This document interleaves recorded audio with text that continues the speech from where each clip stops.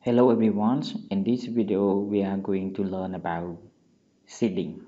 Okay, seeding in Laravel, what is it? How to generate seeder file, how to uh, put data seeding, run seeding for database and also loop seeding for database table. Okay, so what is seeding? Seeding is used for dummy data to the database tables. Why? Because you want to test, uh, you need the data to test your application. So you need to input it to your uh, table by manually or you run the actual script. Okay, it's a very difficult. Instead of this, it might easier for you for Laravel, it provides the uh, function called seeding.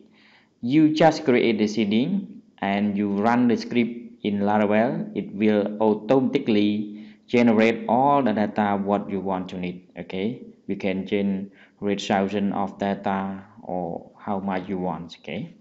So now let's go to create the uh, seeding together and test and how to do it so here is my project um, now we start I want to clear all my commands.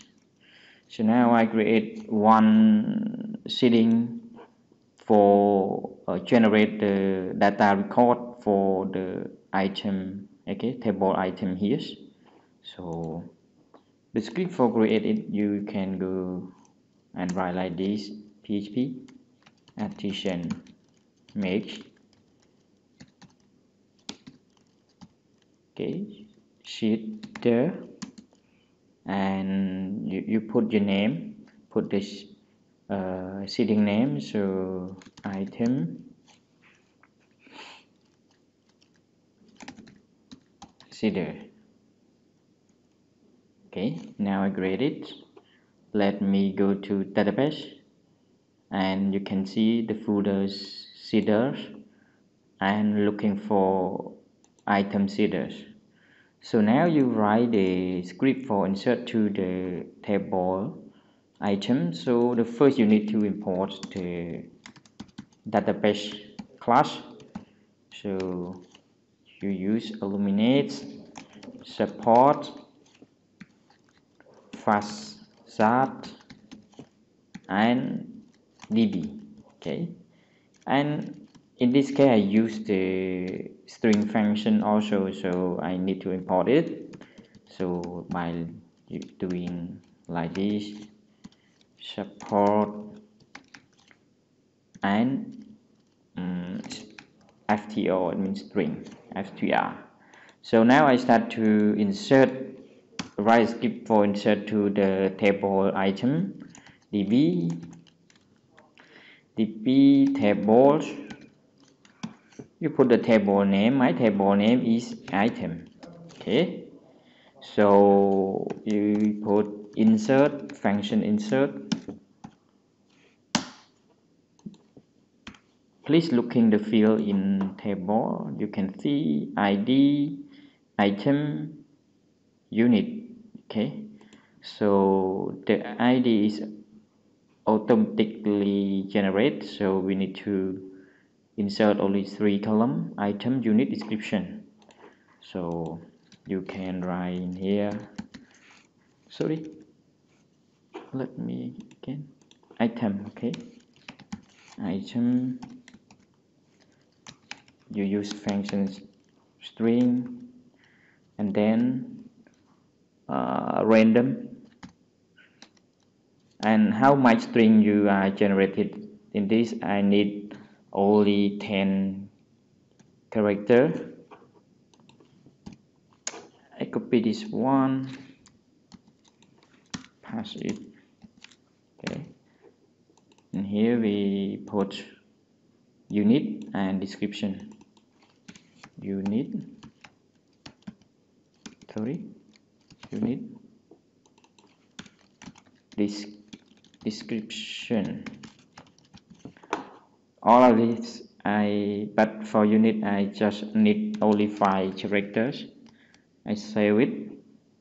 Now let's dummy the data so you use this script php artisan um, db seeds and you put keyword class. It is run for the specific seeder file okay equal and then you put uh, a seeder file item.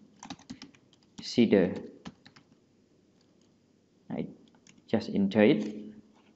And you can refresh in here. Let me okay you can see is the data that we have uh, to it. You can run it one more script okay. Refresh it you can see one more row comes like this. So now the last one is how to loop it. For example I need 100 record. Just run only one script. You can doing by using for loop yes? For loop. You can specify parameter i equal 0 um, i um, smaller than 100 okay. And then i plus plus. Then you copy this insert cut it and pass it in loop and save it. This is a will um, insert 100 record to your database table. You save it and run script again. Enter it. Looking your database table. Refresh yeah. And you can see here is a lot of table came in and you can so like this. So that is very easy for you to dummy data and it very uh, useful for testing application okay? So that's all for my presentation about uh, seeding and see you the next video. Bye bye